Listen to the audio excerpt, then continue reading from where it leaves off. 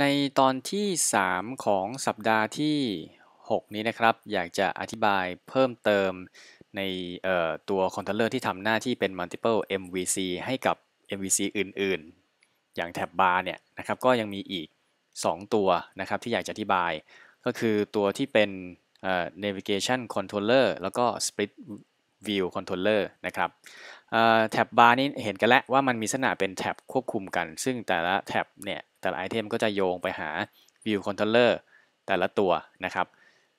ซึ่งโดยปกติแล้วมันก็ใช้กับแอปที่มันไม่ได้มีความเชื่อมโยงกันสักเท่าไหร่นัก หรือว่ามีฟังก์ชันการทำงานที่มันขาดแยกออกจากกัน แต่สมมุติว่าถ้าต้องการลักษณะในการแบบ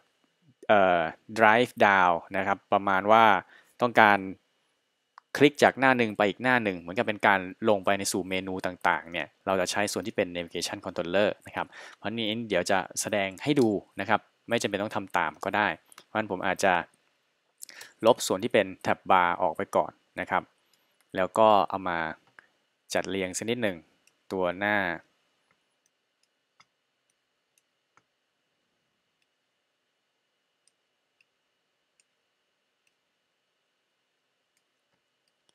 สมมุติว่าเอามาจัดเรียงกันเป็นประมาณแบบนี้นะครับ navigation controller จะอยู่ใน object ตรงนี้นะครับ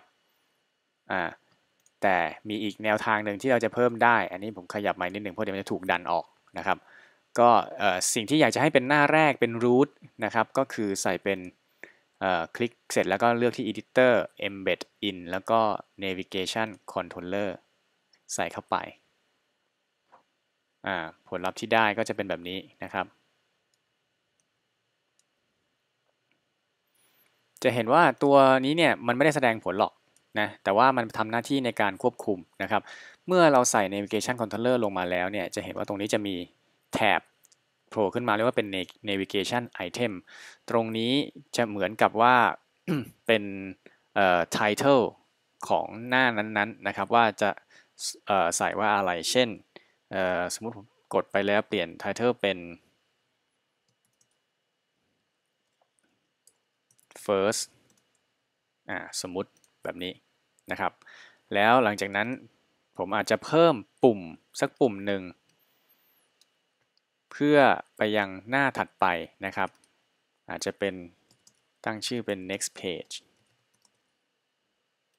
เอาไว้แบบนี้ แล้วก็ทำการโยง หน้า next page ไปหาอันถัดไปนะครับ โดยกด control ค้างไว้แล้วปล่อย มันก็จะมีคำอธิบายเกี่ยวกับเรื่องของ action sec โผล่ขึ้นมานะครับ sec เนี่ยก็คือเป็นไอ้เจ้าเส้นนี่แหละนะฮะ ซึ่งเป็นลักษณะของ transition ซึ่งจะมีรูปแบบที่แตกต่างกันไป ก็จะมีลักษณะเป็น show show detail present modally แล้วก็ as pop over นะครับ ก็เดี๋ยวอธิบายกันอีกทีหนึ่งว่าแต่ละอย่างมันมีความแตกต่างกันอย่างไรนะครับ ตอนนี้เราเลือกเป็น show ขึ้นมาก่อน show ก็จะเป็นการแทนที่ธรรมดา จะเห็นว่าพอ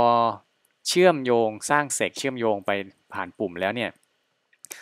ตัวหน้าที่ 2 เองก็จะมี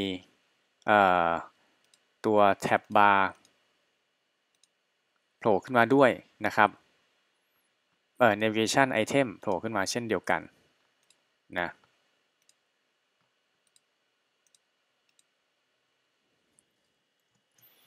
แล้วถ้าเกิดหน้าที่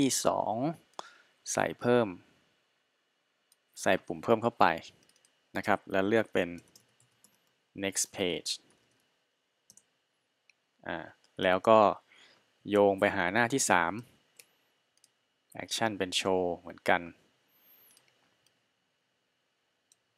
ส่วนนี้ใส่เป็น last page หน่อยแล้วกัน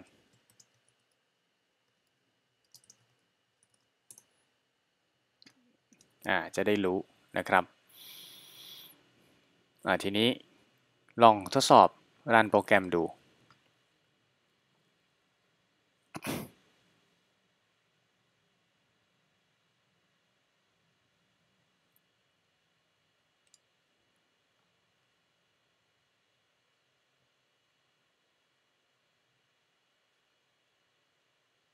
อ่าลืม ไม่ได้ใส่ลูกศรออีกแล้วนะครับเพรมาที่ navigation controller แล้วก็ set initial ไป กด play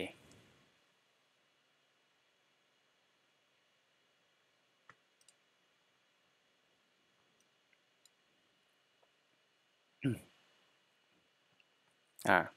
ก็จะเห็นว่าหน้าแรกนะครับ ขึ้นมาเป็น first แล้วก็กด next มีปุ่มสำหรับการ back กลับนะครับ กลับไปที่หน้าของ first กด next page เข้าไป next page เข้าไปอีกอ่าก็จะเข้ามาในส่วนนี้ได้นะครับ จะเห็นว่ามันมีการเพิ่มส่วนที่เป็นปุ่ม back มาให้นะครับ ตรงนี้เนี่ยหมายความว่าเมื่อเรา next page ไปยังหน้าถัดไปเนี่ยมันก็จะเกิดการโหลดหน้าที่ถูกเชื่อมอยู่เนี่ยขึ้นมา แล้วพอเรากด first back กลับไปเนี่ย สิ่งที่เกิดขึ้นนั่นคือไอ้หน้าที่ถูกสร้างไว้เนี่ยมันก็จะถูกทำลายทิ้งทันทีนะครับ เพราะฉะนั้นในความเป็นจริงเนี่ยตัว view ที่จะคงอยู่ตลอดไปเนี่ยจะมีเพียงแค่หน้าแรกที่เป็น root เท่านั้นนะครับในกรณีของ navigation controller ซึ่งก็ถือว่าเป็นสิ่งที่ดี เพราะว่าถ้าเกิดว่ากด next page ไปแล้ว back กลับมาแล้วไม่ทำลายไอ้หน้านี้ทิ้งเนี่ยมันอาจจะ memory มันอาจจะสั่งสมไปก็ได้ทำให้ memory ของเราเต็มนะครับผม โอเค อันนี้คือส่วนของ navigation controller แต่สมมุติถ้าไม่มี navigation controller นะครับ จะผลลัพธ์เป็นอย่างไร เดี๋ยวลบ navigation controller ออก แล้ว set initial ที่หน้าแรกนี้ ผลลัพธ์ที่เกิดขึ้น ก็จะกลายเป็นว่า มันจะไม่มีปุ่ม back ใส่มาให้อัตโนมัตินะครับ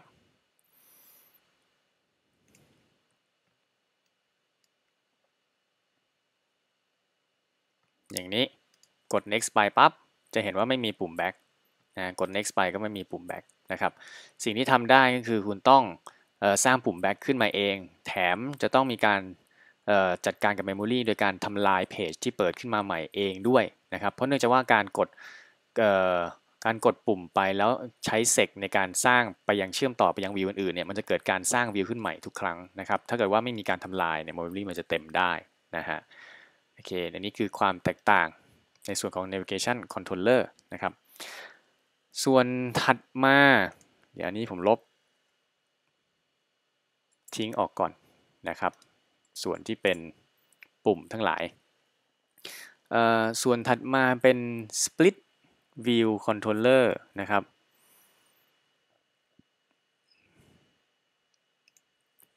อ่า อันนี้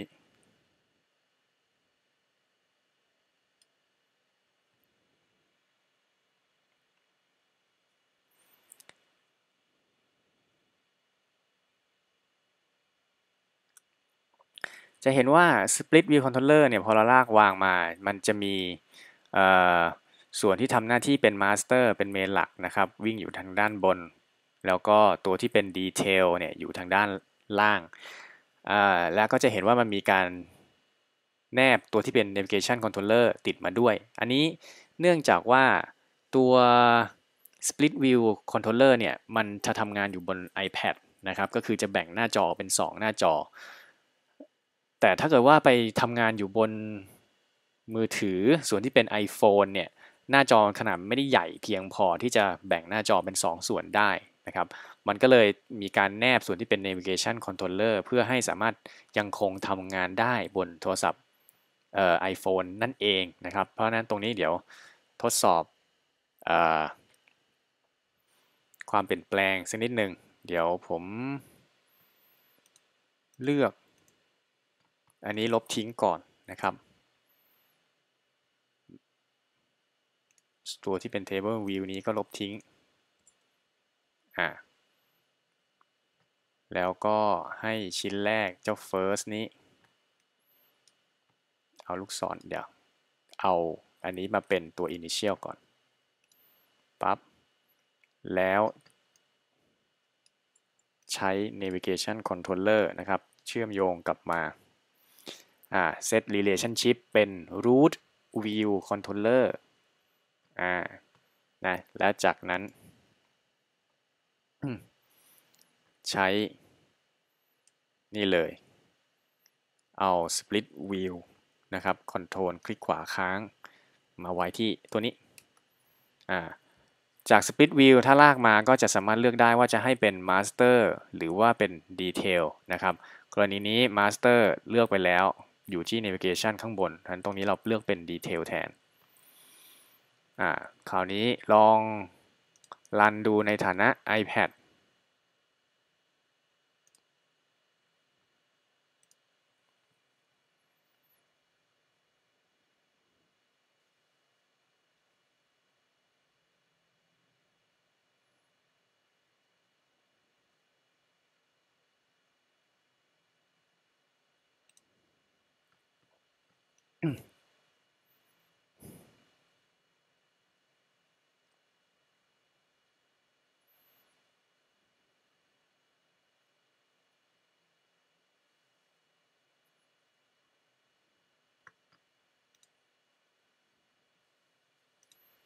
รันครั้งแรกเลยนานมากนะครับ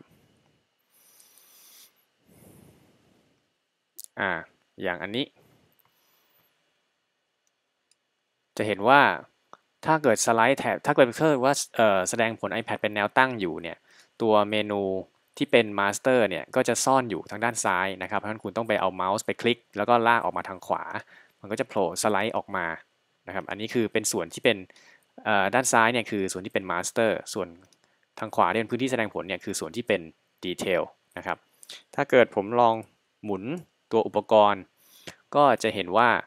มันทำการ split หน้าจอเป็น 2 ส่วนไปในทันทีเลย ด้านซ้ายเป็น master ด้านขวาเป็น detail นะครับ ทีนี้สมมติถ้าเกิดเปลี่ยนอุปกรณ์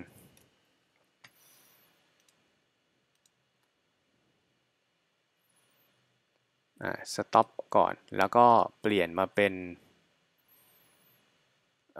ตัวโทรศัพท์อะก่อนจะเปลี่ยนเดี๋ยวเชื่อม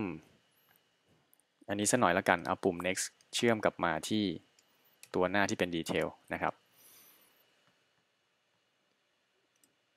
ลองสั่งรันไปเป็น iPhone 7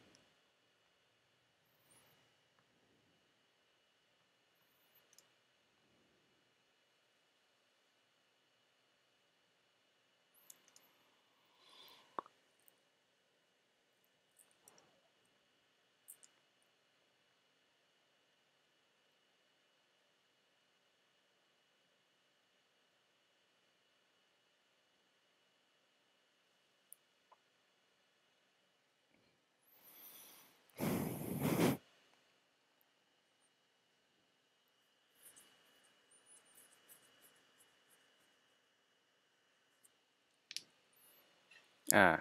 มันก็จะเห็นว่าตัว iPhone 7 เนี่ยมันจะโผล่มาที่ในส่วนของตัวที่ทำหน้าที่เป็น detail เลยนะครับผม แล้วมันจะไม่มีตัว master ออมีมีตัว master ซ่อนอยู่ทางด้านซ้ายได้เหมือนกันนะครับอ่าจริงๆไม่ไม่มีหรอกเพราะมันเป็นการคลิก first กลับไปนะครับ